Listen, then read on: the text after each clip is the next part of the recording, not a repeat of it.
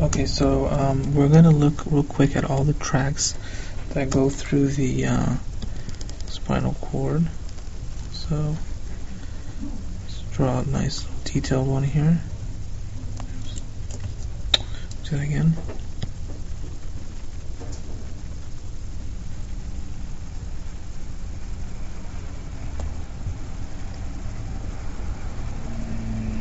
There you go. And so we're going to draw the uh, gray matter here.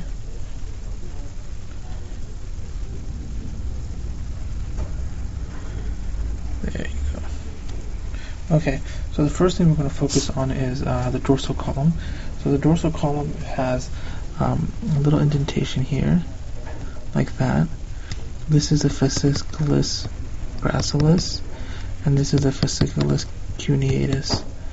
Um, the cuneatus has the cervical, cervical, and the gracilis has the ground or the legs. So I think of it as ground. So um, this is obviously fine touch, vibration, two-point discrimination, all that. Um, now, just kind of looking at the edges, uh, we can first look at the. Um, this is the posterior spinocerebellar, and this is the anterior spinocerebellar. So this is the posterior cerebellar, and this is an um, anterior. So this is an ascending uh, spinocerebellar.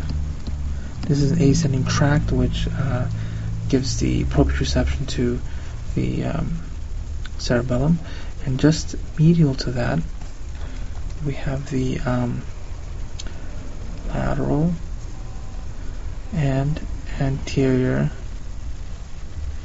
spinothalamic. So here, this is a lateral spinothalamic, and this is obviously skilled movements, and this is the anterior spinothalamic.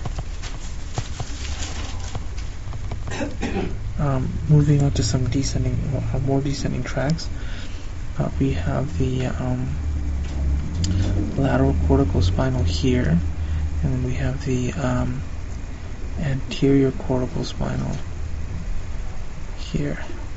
So this is the lateral corticospinal, and um, the legs are here, and the uh, arms are over here. So you could just remember the legs are lateral in the lateral corticospinal. And this is the anterior corticospinal. So these are the main branches. There are a few smaller ones. Uh, you have the rubrospinal here. Um, so this is the rubro spinal, um, which is responsible for some flexion. Uh, you have the tectospinal here um, which is for visual uh, thing. You have the vestibulospinal, which is for posture. And then you have the two olivary, um, one right here, one right here. Um, this one is going to be olivospinal and this is going to be the spinal bearing. And as far as arteries goes, we have the anterior spinal artery here. And we have the two posterior spinal arteries over here.